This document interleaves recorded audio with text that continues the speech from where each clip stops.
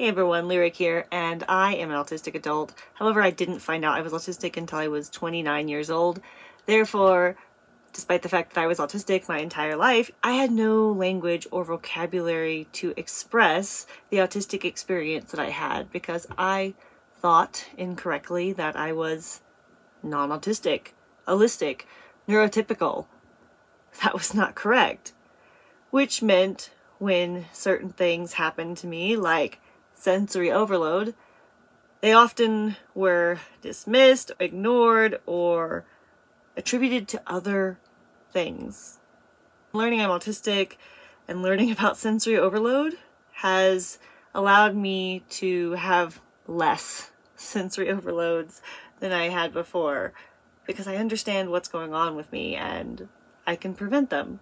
I wanted to share more about sensory overload with you so that hopefully you or your loved ones can help prevent themselves from getting completely overwhelmed by the sensory environment. If you'd like to know more, please do stay tuned.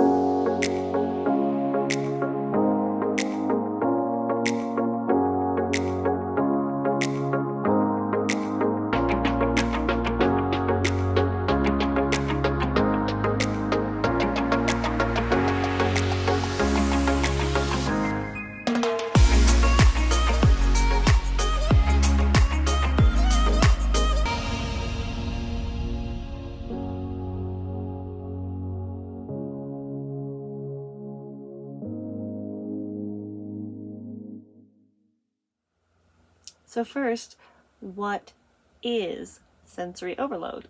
People who have sensory processing differences, sometimes referred to as sensory processing disorder when this interferes with our ability to engage with the world around us, may experience becoming completely overwhelmed by the sensory environment. As an autistic person, I find that my brain is constantly processing a lot of information on overdrive. I don't tend to have filters that allow me to filter out distractions and background noise and other sensory things. Right now, there are crows cackling loudly, and that is really making it hard for me to think. For example, I also hear this fan that I don't even know if you can hear just constantly humming right next to me. All of these little things on top of my mind that aren't tuned down, they're not put into the background. Because all of this is coming at me all at once, sometimes my brain just can't handle it, gets stuck, and shuts down. When this happens to the average onlooker, I may appear out of it or disoriented or agitated or frustrated. I might be short and give really short responses and answers to things as my brain stops being able to work as effectively as it normally would. On the inside, I start to feel a bit disoriented. So, yes, I am making short answers and I'm aggravated it becomes harder for me to concentrate or find the words when I start to become overloaded. I feel as if the lights, which they're usually already really bright for me, start to get brighter. Everything becomes just so bright. The lights are burning my brain. The sounds turn up and get exceptionally loud and start to all mush together, and everything just seems to be swirling around me. At the same time, if anyone's ever had a panic attack, and the adrenaline starts pumping through your body when your fight, flight, flee has been triggered, I get filled with this adrenaline, this fight, this fight, this flee. So I might really be aggravated and agitated and give really snippy, short answers because my heart is racing. Inside, my brain is telling me, run, run, get away, get away, run, run, get away, get away. If I'm in the middle of the grocery store with a bunch of groceries that still need to be paid for, that's not necessarily a great option. On the other hand, if I push my luck and I don't get out of there in time, there could be consequences. What consequences, you might ask? Well, uh, if I am already getting to the point where I am overloaded in a sensory capacity, being disoriented in public can be dangerous because you never know if someone's gonna call the cops on you or some other situation would happen. Sensory overload is a medical emergency. In addition to that concern, I may have a meltdown because of sensory overload.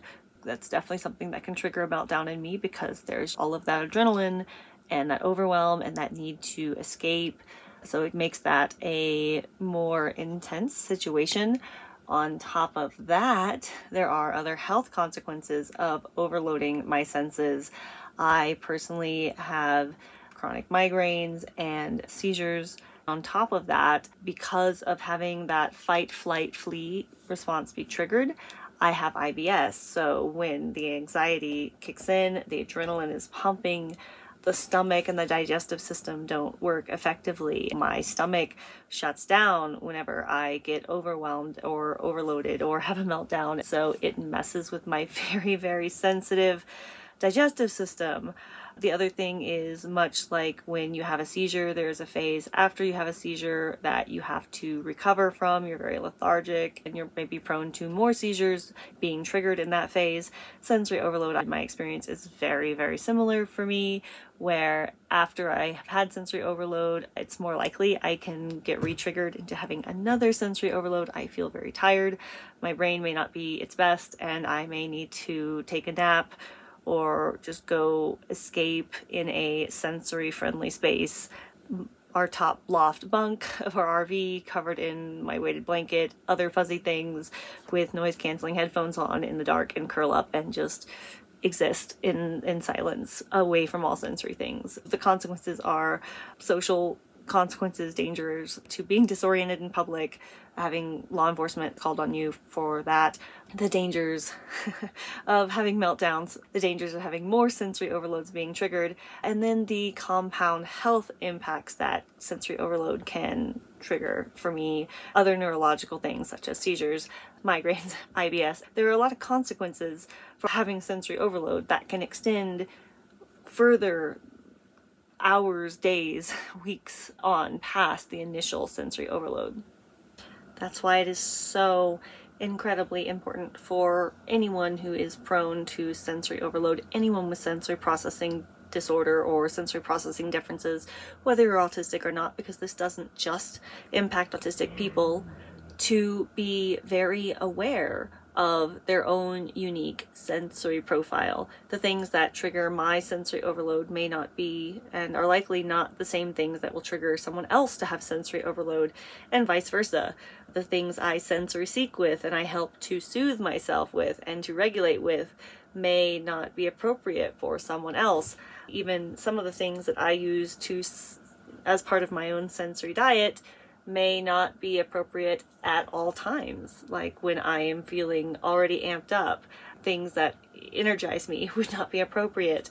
And when I am trying to get more energy, things that soothe and calm me down would not be appropriate. So, really understanding your own sensory needs, your own sensory profile, learning your sensory triggers, learning what causes you to have sensory overloads. Journal, writing things down, noting when you have sensory overloads and what you were doing leading up to the sensory overload and when you had sensory overload. Becoming really aware of how you can protect yourself from those environments. For me, that may mean taking noise canceling headphones out in public or using sunglasses or indoor shades for myself and protecting my senses, hats also, depending on what your sensory triggers are, avoiding things that overload my circuitry in my brain. I recommend that everyone who experiences this also learn their own triggers so that you can take the best possible care of your brain too, because my needs are going to be different from your sensory needs. It's funny going your entire life having an experience but not having a language to describe your experience. When I was little, I remember literally crying to my mom that I hated the grocery store and I never wanted to go there again. I couldn't explain why. I just knew it made me feel terrible to go to the grocery store. And nobody could understand why. They just thought I was a kid that was bored at the grocery store and didn't like going to the grocery store. Then, as a young person why, when I had to go to the grocery store for myself, I would go to the grocery store at 1 a.m. when it was empty. because there were no people there to create sensory chaos for me.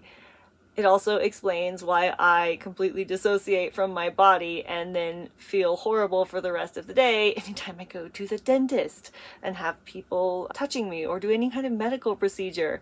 It is just overwhelming to have that much unpredictable close human contact from strangers because I am very sensory sensitive in in touch. It's just too much for me. So many things now make sense. The migraines. I used to have migraines several days a week at the office I worked in that had the fluorescent lighting. Now that I avoid fluorescent lighting, I have had just a couple migraines in the past few years. My life and my quality of life is so much better now because I understand my brain, I take care of my brain, and I am very bold in speaking up with what I need in order to be comfortable, happy, and successful.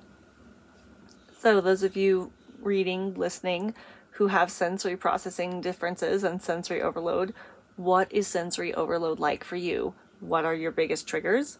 The third question what do you do to avoid, prevent, and recover from sensory overloads? What do you do for sensory overload self care?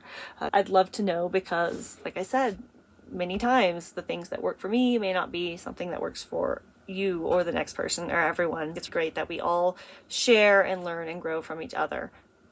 Thank you all so much for hanging out with me this week. If you made it to the end of the video and I didn't lose you and I didn't go so off track on tangent that you got bored and tuned out, hit that thumbs up and let me know. It's hard for me to stay on topic and focused and not go on tangents and keep videos to a reasonable length but but I try to do my best because that's an accessibility being able to summarize and not lose people so let me know if I, if I did a good job there and hit the thumbs up. Thank you everyone who comments, who shares your experiences, your suggestions, your questions, and your video feedback. As always, I am so grateful for all of you.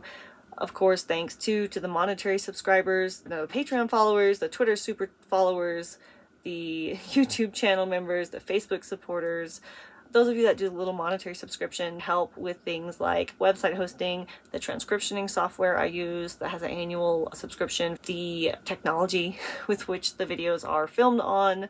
All of this would not be possible without the help of the viewers like you. So I am so grateful as always. Thank you, thank you, thank you to each and every one of you. I will see you all next Wednesday. Bye!